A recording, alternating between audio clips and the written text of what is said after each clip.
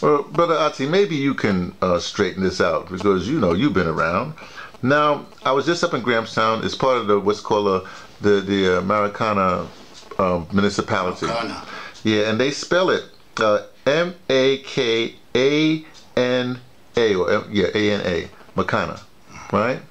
But somebody told me that actually it's supposed to be spelled. It's supposed to be. Is that's not the same thing? It's supposed to be M A K H A N D A Makhanda. No, no, no, no, no.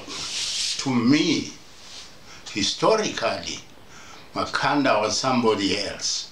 Do you know who he was? was- Who who who was I just can't remember. Maybe in the long run I might uh, Mm-hmm. get it out along.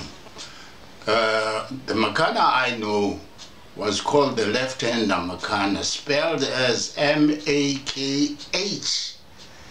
M-A-K-H-A-N-A. Mm-hmm.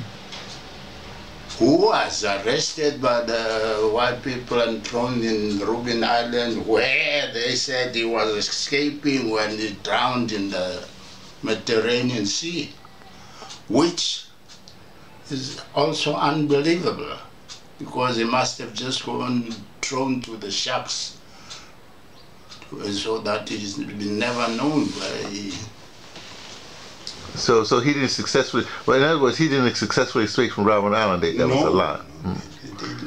I don't know whether they took him out. Well, I'm not sure about that, uh, but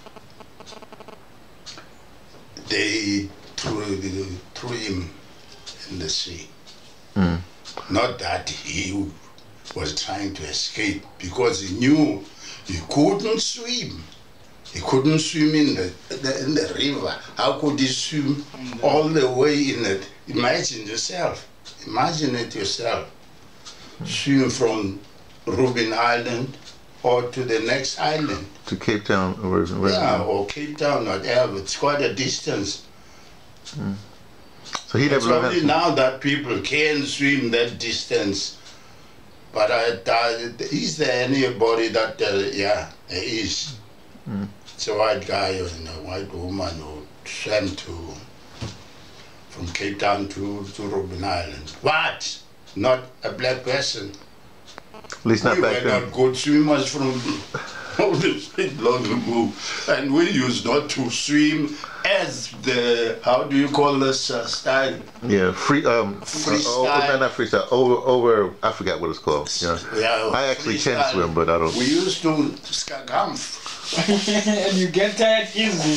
and you get tired. You do you do the dog paddle or something like a. Is it the like a- dog? Yeah, you tell pedal with the, the, you don't pedal with the Annoying. with your, your feet.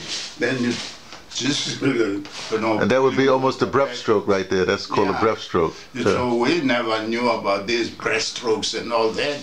How could he have swam from Robben Island to Cape Town?